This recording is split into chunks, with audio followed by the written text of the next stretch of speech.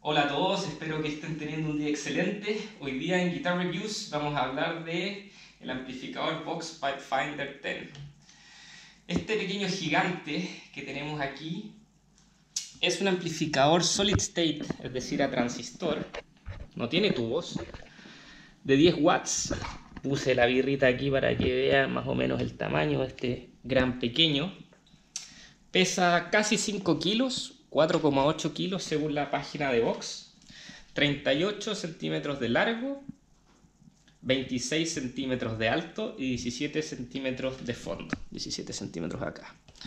Tiene un parlante de 6,5 pulgadas, tiene el switch de on and off, tiene eh, line out para los audífonos, volumen, master volume para los dos canales, bajos, eh, treble y todo lo que es la ganancia. Tiene dos canales, Clean y Overdrive. Y este, a pesar de que la marca Vox es inglesa, está hecho en Vietnam. Ahora vamos a ver cómo suena. Estoy tocando una guitarra Fender americana Stratocaster del año 88. Tiene pastillas Samarium Cobalt Noiseless, así que no tiene nada de ham. Canal limpio, todo en 12.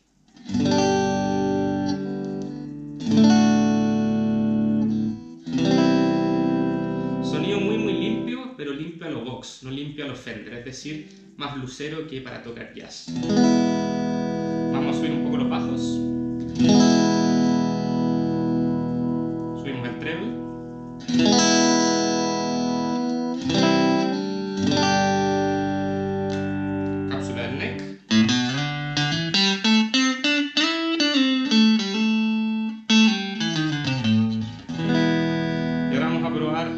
Sucio, que es bastante, bastante pesado para el tamaño del amplificador. Tenemos gain al medio, volumen al medio. Vamos a poner volumen un poquito más bajo, 3 bajos y trebles en 12. Cápsula del puente.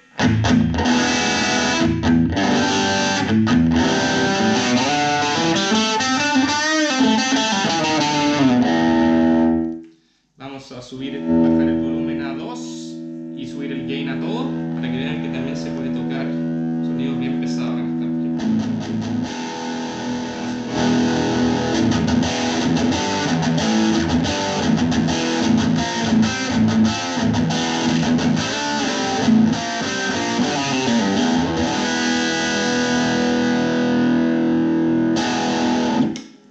Para resumir, el amplificador, uno de los pros que tiene es que es muy portable, muy pequeño, muy fácil de usar, bastante flexible, pueden tocar desde blues, eh, tonos más limpios y también hasta heavy metal con él.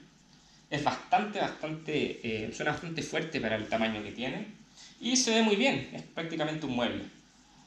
Algunos de los cons es que el limpio no es tan limpio, es decir, no, yo no lo recomendaría para tocar jazz y sus derivados, y que no tiene reverb, que eso es un, definitivamente algo que no es que debería tener este amplificador.